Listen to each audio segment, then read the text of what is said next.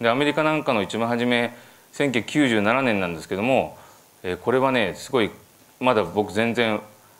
ペーペーのギャラリーで誰も知らないんですけどもたまたまそのアートフェアのホテルのアートフェアっていうのがアメリカであって、えー、ホテルの中をの部屋をですね一つのギャラリーに開放して、えー、アートフェアやんですね。でロサンゼルスのサンセットブルバードにあるシャトー・マーモントっていう、え、ジョン・ベルーシがあのドラッグで死んじゃった有名なホテルなんですけどもそこのホテルで、えーと、その一部屋一部屋をスイートルームなんですけども、えー、借りて、えー、アートフェアをするっていうのが1997年に一番参加できた一番最初のフェアなんですね。でその時に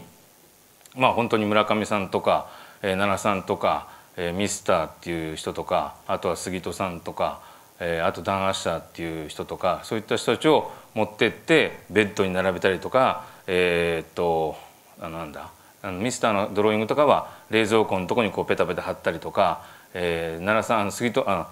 村上さんのペインティングとかはああいう台みたいなあのキャビネットみたいなとこにこう並べたりとかそういう形で売ったんですね。でその時にやっぱし日本から来た、えー、ギャラリーで日本のアーティストがいっぱいあるんですけども何も知らないいわけですね単純に見に来る人たちは。ほとんどがロサンゼルスの人たちとあとはその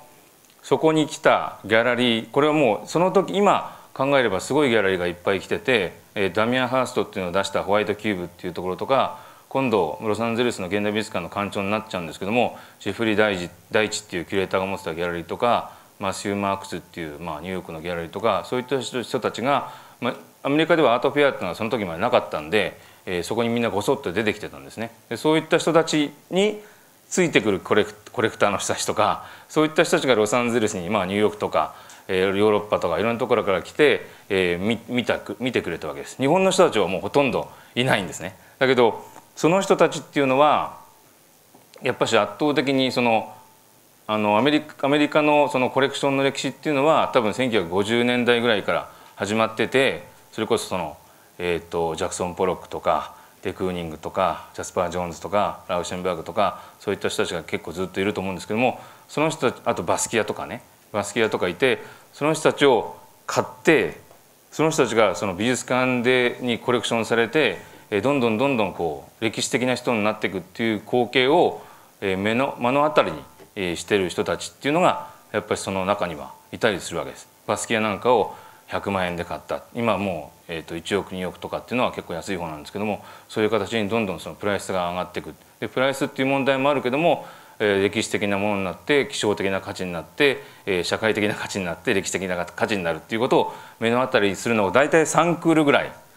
50年60年70年4クールぐらいかな、えー、してる人たちだと思うんですね。大体10年ぐらいでそのサイクルっていうのは、えー、変わっていったりとかしていくんですけどもそういったのを見てる人たちがえー、全く無名の日本人のアーティストを見てそれでも